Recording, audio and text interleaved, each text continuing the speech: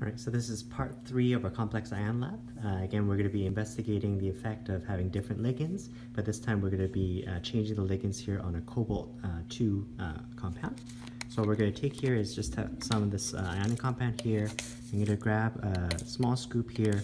I'm actually going to create two uh, different solutions of this here, so I don't need too much there. So we're going to have some of the cobalt-2 nitrate in the first test tube, Similarly, some of the cobalt-2 nitrate here sometimes it gets clumped up uh, when we leave it uh, for too long. So just a solid here. What we're going to do, we normally dissolve things in water. So for one of them, I'm just going to start off just with pure water.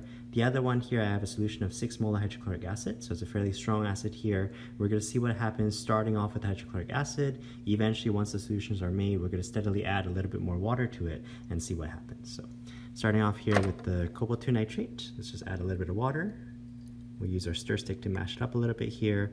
Uh, note the color uh, at the moment here. So this is the cobalt-2 uh, ion. Uh, we again have formed the hexa-aqua compound because water is currently the only ligand. Okay.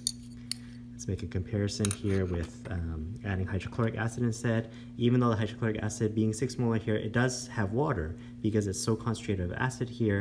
Uh, let's see uh, the impacts of this as a ligand. So, so add a little bit of hydrochloric acid here you notice already very different in terms of what we had earlier.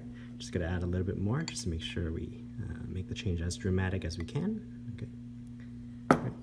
Again, I'm gonna use a different stir stick here and mash this up a little bit here. Make sure that cobalt ion is actually dissolved. Okay. You already see a difference between these two here. Uh, again, this one here was uh, the cobalt ion here just in water. This is the cobalt ion in hydrochloric acid. And then what we're going to do here is we're going to see is there a sort of a replacement that happens if I now add water to both of these test tubes here. So starting off with the cobalt one here that already had water inside. So I'm not expecting uh, too big of a change here. As you're adding water, well, it was already aqua as a compound here, not a whole lot of difference. But let's do this something similar here to the hydrochloric acid here. Uh, already it does contain water here, but let's see what happens as I add uh, even more water to it. So I'm going to add this uh, Try to add it slowly so you can actually see the difference. Okay. You already see uh, some of that color is disappearing.